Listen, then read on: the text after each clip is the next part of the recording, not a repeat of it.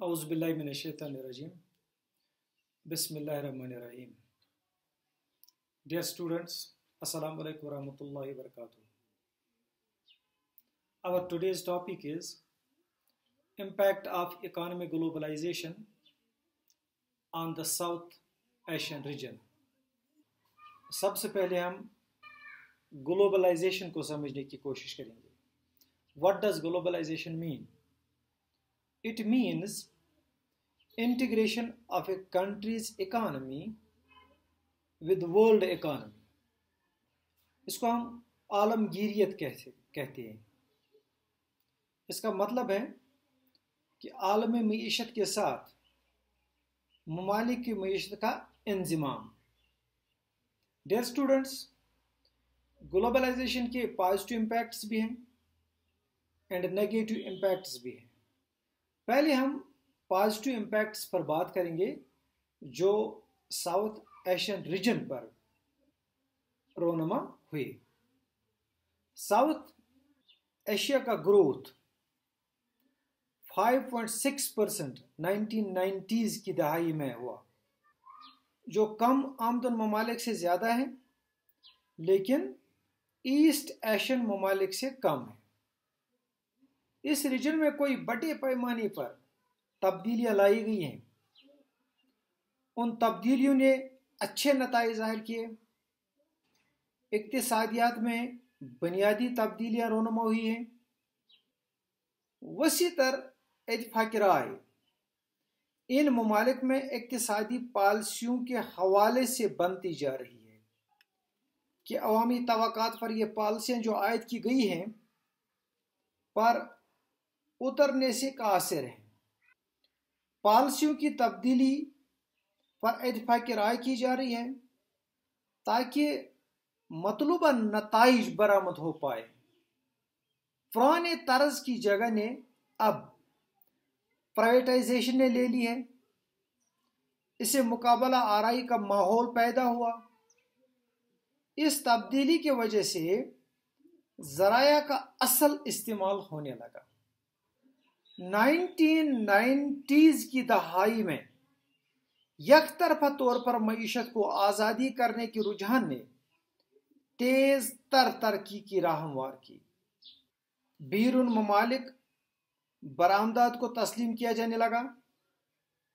उसे जर मुबादला में इजाफा हुआ। घरेलू सतह की, इकतसादी सतह की और कैपिटल मार्केट की तब्दीलियों ने मीशत के शोबा को इस्तेकाम बख्शा। श्रीलंका और पाकिस्तान में ये तब्दीलियाँ बड़े पैमाने पर रोनमा हुई। Domestic financial and capital market reforms made the financial sector sound bank quality को बढ़ावा दिया जा रहा है। और एसिड्स की क्वालिटी पर भी तवज्जो मरकूज की जा रही है।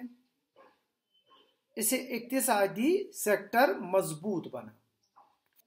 Dear students macroeconomic stability that is low inflation low domestic interest rates and stable exchange माशी इस्तेकाम को माशी इस्तेकाम जो कि अफराद ज़र कम डोमेस्टिक शरह सूद और मुस्तकम, लेकिन हकीकत पसंदाना, ज़र मुबादला की शरह इन मीशतों की पहचान बन गई है।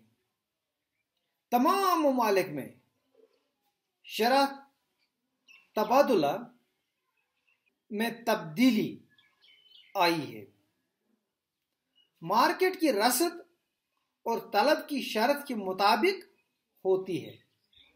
अब किसी खास सतह पर शरा तबादला का दिफा करने और बरामदाद की मुसाबकत को बरकरार रखने और उतार चढ़ाव को बरकरार रखने की बुनियादी पॉलिसी है, सबसे बड़े जर मुबादला के जखायर को, जखायर के डेर हैं। माली इस्तेकाम और नाजम व जबत सबसे दूर है। घरेलू बचत में इजाफा हुआ है। चीन और मशरकी एशिया से घरेलू बचत और तनासब का कोई मुकाबला नहीं है। इस साउथ एशियन रीजन में टेक्नोलॉजी का रुझान बढ़ रहा है।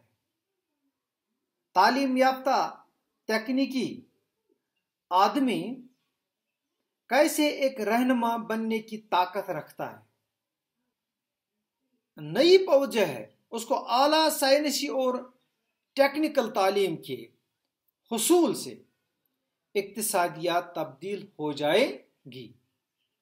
Dear students these are some positive impacts of globalisation economic globalisation on South Asian region now some negative impacts खते में सियासी और जोग्राफियाई सियासी खतरा negative effect political and geopolitical risk in the region that is Pakistan और हिंदुस्तान के दरमियान तनाव। श्रीलंका, बांग्लादेश वगैरह में भी जो तनाव की सूरत है, पूरा खता उससे मुतासर है।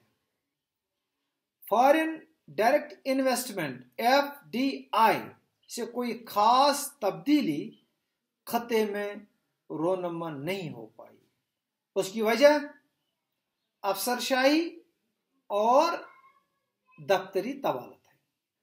पॉलिसीज़ असल माना में रूब अमल नहीं ला, लाई जा रही हैं, जिसे नतज खिलाफ तो सामने आते हैं। इस साउथ एशियन रीजन में इंटर रीजनल ट्रेड दो फ़ीसदी तक रही। उसकी क्या वजह है? ममालिक के दरमियान आपसी तनाव। हिंदुस्तान और पाकिस्तान के दरमियान जो तजारत होनी चाहिए थी, वो नो, नहीं हो पाई। उसकी खास वजह सियासी रसाकशी जो तिजारत में हायर हो पाती है।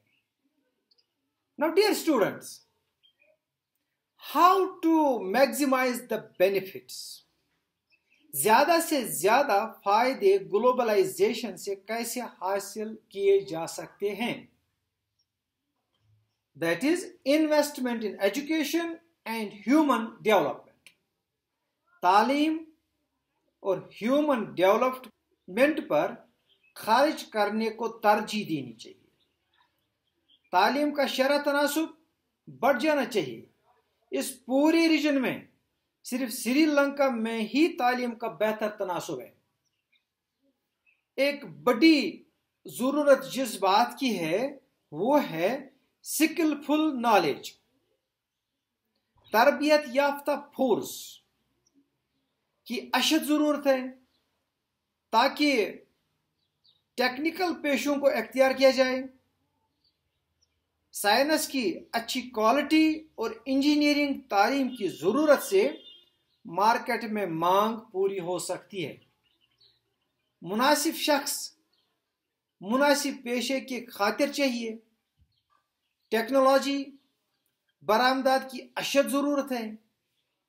टेक्नोलॉजी को बरामद करना आजकल जितनी उसकी ज़रूरत है, इससे पहले इतनी ज़रूरत न थी सो डियर स्टूडेंट्स आज के मौजू के हवाले से हमने ये अच्छी सी इंफॉर्मेशन शेयर की and our next topic will follow conflicts and efforts for peace in South Asian region ज़रूर वॉच करिएगा।